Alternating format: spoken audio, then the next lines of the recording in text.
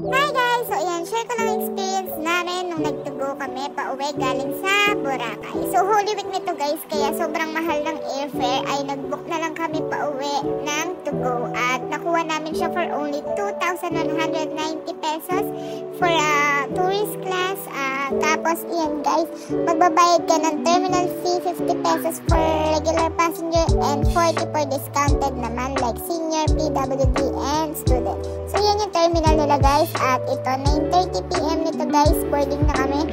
Pero 11.30pm pa ang alis ng barko at iyan paakyat to na barko. At iyan guys uh, tourist class dito ang way pero uh, iyan iyan din yung mga room wala nang available dahil na fully book siya. Pwede ka mag-upgrade sana kapag may available kaya lang wala. So ito yung tourist class guys may aircon siya at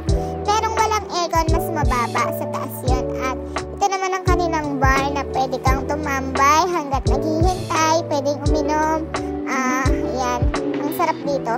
At ito naman guys ang kanilang restaurant, ang Fiesta Kineme. Hindi ko matandaan. Basta dito kami nag-dinner. At dito rin guys yung breakfast kinabukasan. At yan guys, 11.30pm. Sakto, umalis na yung barko sa Jetty Port. So, yan guys, ito ay kinabukasan na, uh, umaga na nito at 6am to 8am ang breakfast kaya kailangan mong gumising ng maaga para makuha yung libreng breakfast. At yan, kung hindi ka magigising, eh, sorry ka na lang. At yan, kain na ako dito at yan, maya maya ay nandito na kami sa Batangas Port. At exact 10am, medyo maaga. So yan, thank you for watching!